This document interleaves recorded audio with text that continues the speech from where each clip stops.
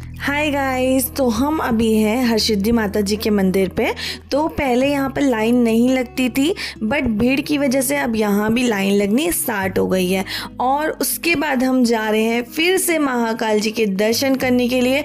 और इस बार हमें आरती मिल गई। ये टाइम हो रहा है रात के साढ़े दस बजे का। हम इतनी दूर उज्जैन गए हुए थे महाकाल जी के दर्शन करने के लिए और उनके एक भी आरती हमको नहीं मिल पा रही थी तो हमने डिसाइड किया था कि हम वापस जाने से पहले एक बार तो महाकाल जी की आरती में ज़रूर शामिल होंगे। तो गाइज़ आप लोग भी महाकाल जी के दर्शन कर लीजिए। Hi guys welcome back to my channel Richesh मेरा ब्लॉग और गुड मॉर्निंग आज हमारा है उज्जैन में लास्ट डे तो आज हम जाने वाले हैं फिर से महाकाल जी के दर्शन करने के लिए, क्योंकि आज हम जा रहे हैं, आज हमारी ट्रेन है चार बजे की.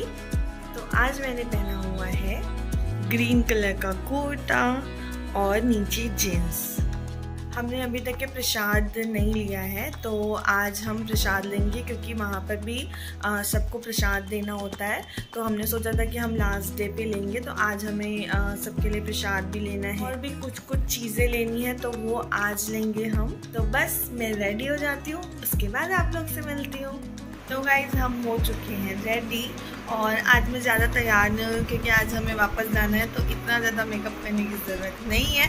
तो बस मैं सिंपल सा तैयार हुई हूँ, बिंदी लिपस्टिक और सिंदूर दैट्स इट और मैंने भर भर के सनस्क्रीन लगाया हुआ है क्योंकि बाहर में बहुत ज़्यादा धूप है। तो बस चलते हैं मंदिर। एंड गाइस मैं आप लोगों को बताना चाहती हूँ कि मैं बार बार मंदिर जाते समय वीडियो इसलिए स्टार्ट करती थी ताकि मैं आप लोगों को एक बार महाकाल जी के दर्शन करवा सकूँ। एंड फाइनली मुझे कल रात साढ़े दस बजे वाली आरती में मुझे ऐसा मौका मिला कि मैं आप लोगों को अपने वीडियो के ज़रिए महाकाल जी के दर्शन करवा सकी। गाइस तो हम अभी आ गए हैं मंदिर से और हमें जो जो सामान लेना था वो भी हमने ले लिया है और मैंने अभी थोड़ी देर के लिए चेंज कर लिए हैं कपड़े और अभी टाइम हो रहा है डेढ़ बजे का तो अब जल्दी जल्दी से करनी है पैकिंग और मैं सबसे क्यूट चीज़ आपको दिखाती हूँ जो हमने लिया है। तो गाइज़ ये है डमरू।